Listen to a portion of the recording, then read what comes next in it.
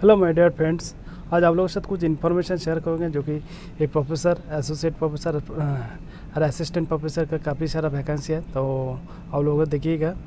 ये देखिएगा faculty of engineers and technology इसमें देखिएगा बायोमेडिकल इंजीनियरिंग कंप्यूटर इंजीनियरिंग और उसके साथ civil engineering electrical and electronics engineering electric electronics and communication engineering and mechanical engineering की इसमें ऑफ़र हो रहा है faculty of management and commerce के लिए हो रहा है H R and marketing analytics financial technology आज ये ये मैनेजमेंट का काफ़ी सारा जो देखिए entrepreneurship economics operational research and quantitative technology project planning and analytics उसके बाद फाइनेंशियल मिडलिंग और इंटरनेशनल बिज़नेस इसमें भी। और उसके साथ देखिएगा, ये ऑफ़र हो रहा है faculty of science and humanities के अंदर। ये इसमें आ रहा है physics chemistry mathematics environment environmental science अच्छा biotechnology microbiology economics physiology and clinical physiology ये हो रहा है। उसके साथ लैंग्वेज देखिएगा English Hindi French and German और जो फैकल्टी ऑफ़ लॉ लॉ में देखिएगा स्पेशलाइजेशन इन लॉ में। पॉलिटिकल साइंस टैक्सेशन लॉ अच्छा law and on economics on corporate and insolvency law law vacancy law में देखिएगा उसके साथ देखिएगा invites invite application for non teaching staff के लिए नॉन टीचिंग स्टेप के लिए देखिए ऑफ़र हो रहा है।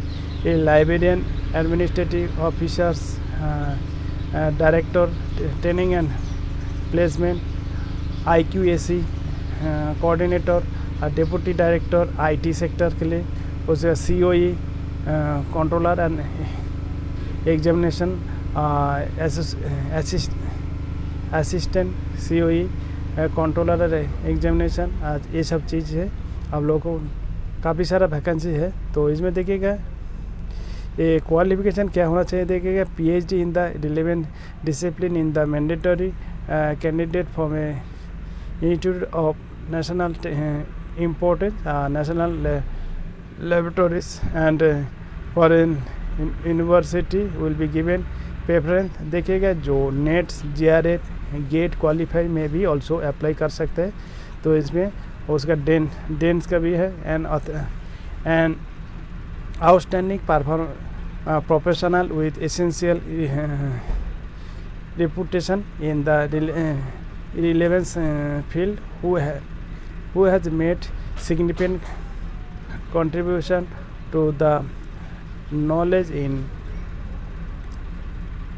in the concerned allied and, and relevant discipline to the subs uh, by the it credential credential have a PhD have a PhD degree from a prestigious institute and university तो ये सब आप लोगों को चाहिए देखिएगा ये असिस्टेंट प्रोफेसर है good academic record and NET and PhD होना चाहिए। और एसोसिएट प्रोफेसर के लिए minimum five years teaching research and industry experience in which at least three years should be at the level of assistant professor and equivalent उसके तहत professor के लिए research experience at the level of professor, minimum 10 years teaching, research and industry experience of which at least 4 years in associate should be level of associate professor or equivalent जिसमें तो ये सब चीज़ होना चाहिए।